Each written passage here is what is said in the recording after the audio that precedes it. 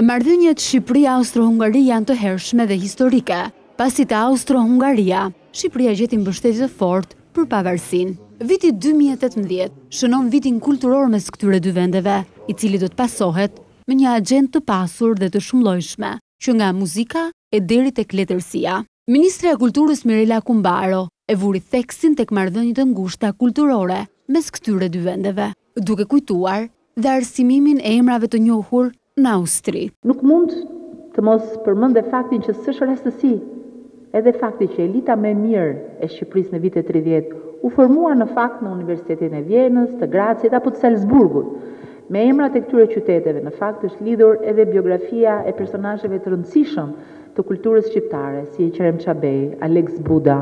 Skënder Luarasi apo dhe Lasgush Poradeci, që për ne sot janë referenca kulturore edhe shkencore gjithashtu. Ndërkohë që për të përforcuar rëndësinë e marrëdhënieve kulturore, ambasadori austriak në Shqipëri e nis me një citim të Shumanit. Do të filloj me një citat të Robert Schuman, një nga krijuesit i Bashkimit Europian, i cili ka thënë, Nëse do të krijoj edhe një herë Bashkimin Europian, duhet ta fillonte me kulturën.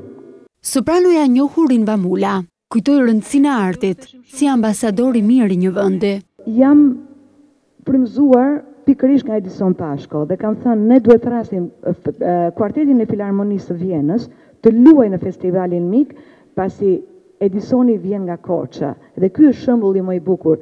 i misionit që ka kultura, që nga një qytet si Korça ku ai ka mbaruar, të vijë me pjesëtarët e Filarmonisë së Vjenës për të dhënë këtë shembull kaq të bukur. Në Pallatin e Kongreseve me datën pesëmbëdhjetë shkurt, ku Vjena saluton Tiranën në këtë rast dhe përveç se artistëve shqiptarë që është ajo lidhja midis midis koncertit të parë dhe të dytë, siç është Genc Tukiçi dhe unë, do kemi artistë austriakë, dy baritonë të rëndësishëm, një mezzosoprano, kuartet nga Vjena dhe kemi dhe të ftuar një mik tashmë internacional i cili jeton Prej kohësh në Vjenë është një tenor i famshëm, Ramon Vargas, i cili vjen për herë të parë. Muaji mars do të shënojë një produksion të madh mes Teatrit të Operës dhe Baletit dhe Operasë së Vjenës, për operetën Lakuriqi i natës. Në këtë produksion artistë austriakë, të cilët do ta drejtojnë këtë produksion, sa i përket drejtimit muzikor, por edhe regjisë dhe koreografisë. Pra është, të themi, një Eksperiencë austriako-shqiptare e cila do të sherohet midis të dy ekipeve tona. Letërsia është shumë mirë e përfaqësuar, si me përkthime nga gjermanishtja në shqip, ashtu dhe me me prezencë autorësh austriakë në Shqipëri, në netët e letërsisë austriake, apo eseisti Gauss që do të jetë me prezent këtu në rezidencë letrare. Një vend të rëndësishëm, zë dhe historia. Çështjet e historisë, si politika e Austro-Hungarisë, roli i forcave ushtarake shqiptare që morën pjesë në